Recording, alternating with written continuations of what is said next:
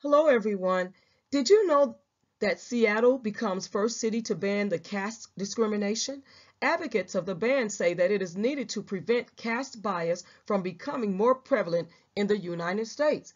Now, when we look at the caste system uh, here uh, in America, where Hindus, uh, there's a less than 2% uh, community of Hindus in Seattle, Washington, right?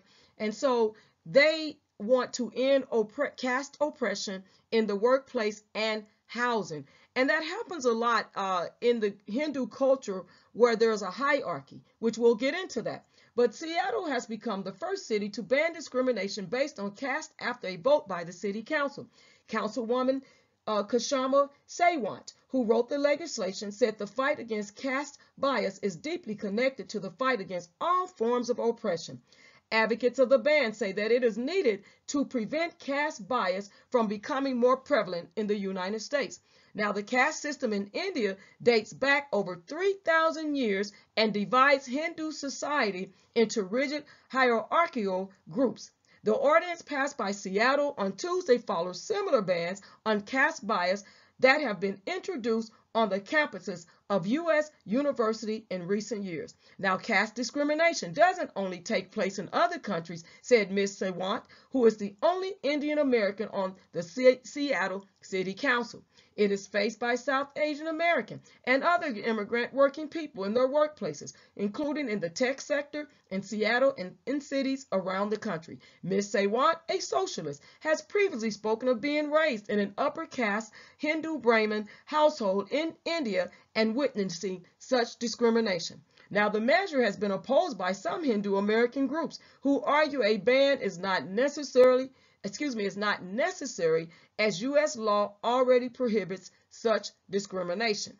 In an open letter, the Washington, D.C. based Hindu American Federation said that while the ordinance goals were praiseworthy, it unfairly singles out and targets an entire community on the basis of their national origin and ancestry for disparate treatment. They added that Indian Americans made up less than 2% of Washington state population and argued there was little evidence of any widespread discrimination based on caste. Now, caste discrimination has been banned in India since 1948. However, discrimination continues, especially against the Dalits, who were once called untouchables. According to the Migration Policy Institute think tank, the U.S. is the second most popular destination for Indians living abroad. Now, I want to stop and talk about this because when you look at a lot of different jobs, uh, in, you know, employers in the workplace, there are caste systems. They're, they're, they're like hierarchy, you know, where, you know, people seem to be, seem to be treated uh, differently based on the job that they do. And no one, I believe, in my opinion, should be treated any less than anyone else. Whether you are a cook in a cafeteria or a cashier uh, collecting money for people that are coming in, paying for their food, their lunches, breakfast, whatever it may be, snacks, uh, you know, they should be treated with humanity. And that goes for everyone. However, we see not just in the caste system, uh, but we see discrimination all over uh, if you have less money than someone. You know, when you go to the bank and you, you know, someone has a whole bunch more money than you, they're treated differently when it comes to financing, giving loans out, you know, and things like that, and housing. Or depending on where you live, you may live on the south side or the east side or the west side. And depending on where you live, you could be treated differently because of where you live. Now, let's just say the type of car you drive, or maybe you don't have a car and you're taking the bus and you're standing at the bus stop and people, you know, are driving by in their cars. We never know the assumptions that assumptions people are making because they see you standing at that bus stop, although you may have a very expensive car at home in your driveway and you just choose to take public transportation. Many people do it when they have to commute to work and it's at least an hour or more. People will take or 45 minutes to an hour or more public communication uh, communicate uh, excuse me public transportation. So it really depends on uh, you know when it comes to this discrimination, it depends on a lot of different dynamics and factors. And it shouldn't because we're all people, but it happens. And and you see it, like I said, in the workplace and even in churches. You know, if you I, I'm in this position and you know, they'll look down upon someone else that's in a they feel a lesser position or or or you're not in a position at all, you know, and they want to talk down to you. Or if you come to church dressed a certain way, you don't have all the nice nicety clothes and shoes that some people are wearing. And you come and they want to sit you in the back like that used to be. You sit in the back and the people in the fine clothes and linens sit in the front. Things like that. So there's a lot of laws in place banning discrimination but that doesn't mean it still does not happen. We see a lot of discrimination in the judicial system. We see discrimination, jobs, churches, communities.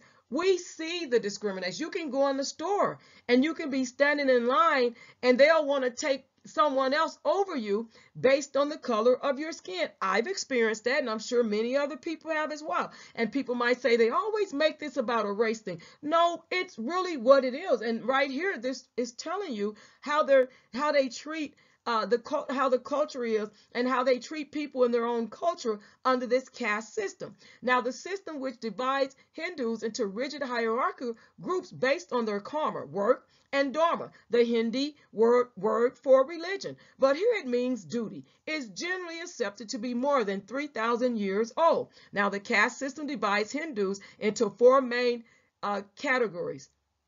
Brahmins, Kshatriyas, Vaishyas, and the Shudras.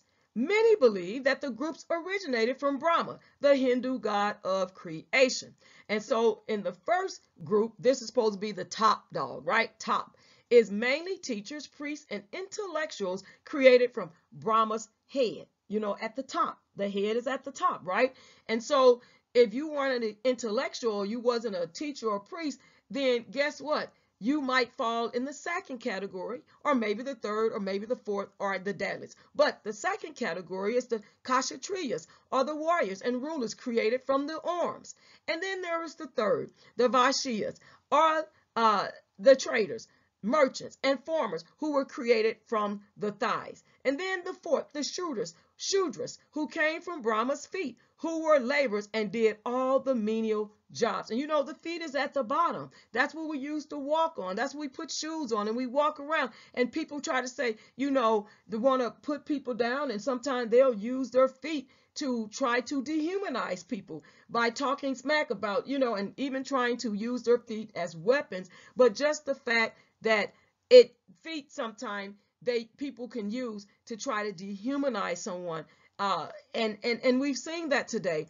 And then you have the Dalits, which were considered the outcasts. They were street sweepers. They were latrine cleaners. They were people that they felt were beneath everyone else. And I don't believe that that should be like that because we're all human beings and your job or education or how much money or community or the car you drive or the church you attend or the clothes that you wear should not make you feel like you are superior over someone else. And we see even when we have the unhoused and the homeless population, some people they look down upon them and they are they are still people and you don't know what type of situation that those people uh, have dealt with or dealing with or where they used to be. There are doctors and lawyers that are unhoused right now or on the street. We see a lot of people that have went through some changes, maybe a bad divorce or lost everything through the bad uh, investments or anything. But however, it does not make them less than a human being. And so when we look at this system, what do you think about this when it comes down to them actually passing a law, legislation banning the caste system in Seattle, Washington, because they want to make sure that it doesn't continue to happen.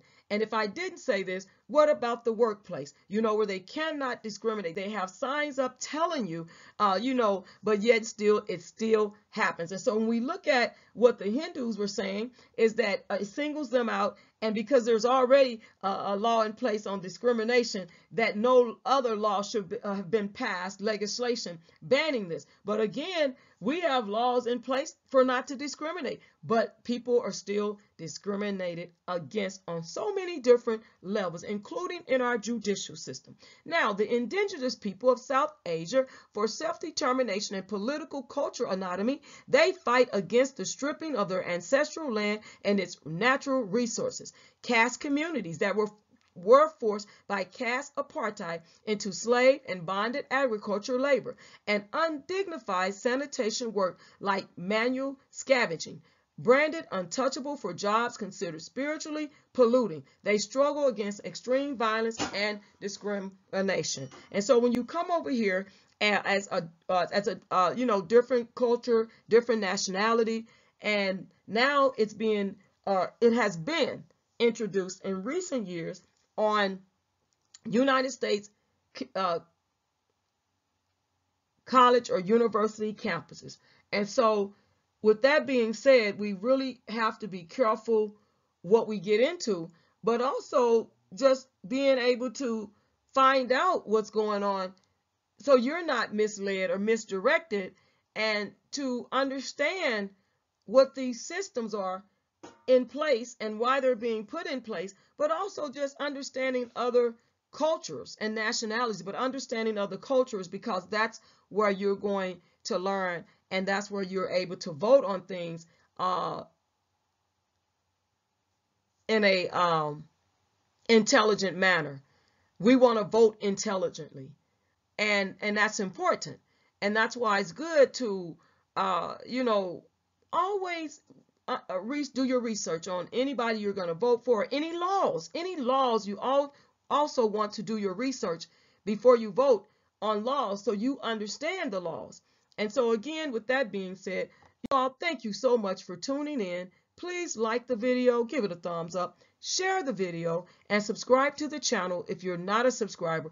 And for my new subscribers, thank you so much for subscribing to the channel. I hope that we can all have these uh, smart, responsible discussions and we can disagree to agree and agree to disagree and continue to move forward. If it's any videos that you like on my channel, please don't forget to give it a thumbs up like the video and share the video. I don't care if it's 10 months old, a year old, two years old. If you like the video, give it a thumbs up. If you've learned something or if you can share it to help someone else, give it a thumbs up and share the video. And don't forget the copyright disclaimer under Section 107 of the Copyright Act 1976. Allowance is made for fair use for purposes such as criticism, comment, news reporting, scholarship, and research. Fair use is a use permitted by copyright statute that might otherwise be infringing. Nonprofit, educational, or personal use tips the balance in favor of fair use. Don't forget to follow me on Instagram, Stand Up Be Counted. And then also, don't forget to check out my jury, Oh It's Sharine Jury,